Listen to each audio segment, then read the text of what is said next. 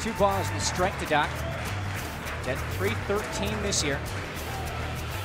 And a swing and a little looper to shallow left field. This is going to be trouble. It will fall for a base hit. They're going to wave Henry in. The throw to the plate is cut off. It's 1 0 Virginia. He'll show bunt, lays one down to the right side. The runner coming home. The flip is not in time. The suicide squeeze. The ball gets away, and the runners to second and third.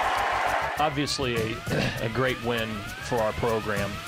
Um, you know, I, I, I, don't know how else to say it that I couldn't be happier, uh, more proud of a team that I've ever coached as an assistant coach or, or a head coach. Here's the 2-2. Swinging a line drive to right field. It's caught on the run by Santi. They're going to send the runner in. The throw is offline. Virginia takes the lead.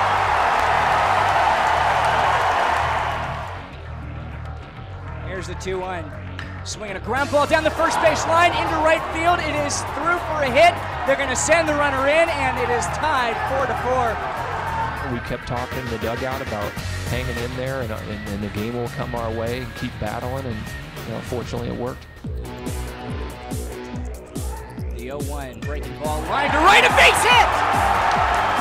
And Virginia leads 5 to 4.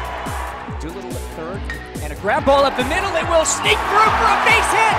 Virginia leads 6 to 4. Here's the 2 0. Swinging a grab ball up the middle, a base hit. They're going to wave the runner in.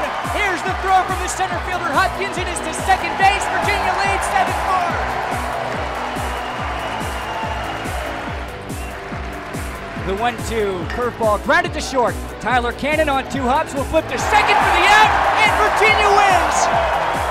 Well, as, as, as, I can tell you as a head coach, um, you know that's the greatest win that I've been involved in at the University of Virginia. To you know beat the defending national champion and the way the game went was is very rewarding. I'm just so I'm so happy for our players. You know they deserve this.